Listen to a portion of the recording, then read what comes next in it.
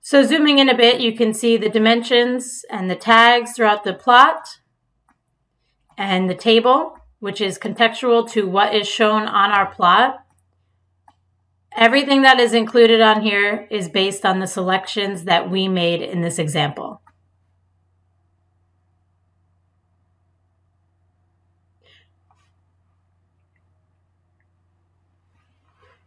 Next, we'll go through a few helpful tips for working with your isometric in MicroStation or OpenPlant Isometrics Manager. This is outside of AutoPipe, but generally useful for anyone who's working with the stress isometric. We already have our is isometric open. So one thing that we can do is we can move our dimension elements around within our plot. So if I zoom in a bit to a section of the plot here. In OpenPlant Isometrics Manager, I want to select the drawing workflow. And in the modify grouping of the home ribbon tab, I see an option to modify the element. So I can select modify element and then I can select my dimension and I can move it to wherever I would like to move it, either the actual number dimension or you can move the entire line of the dimension as well. For example, down.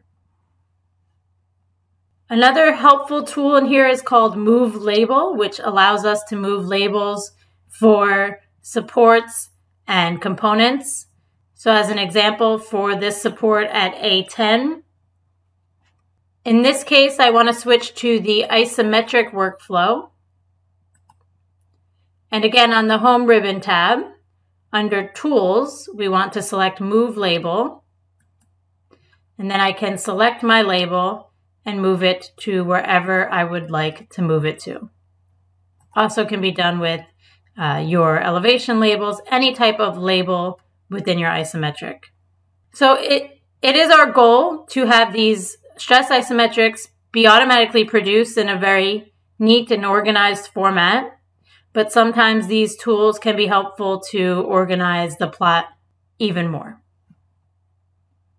This concludes the AutoPipe practice workbook example training class for stress isometric creation.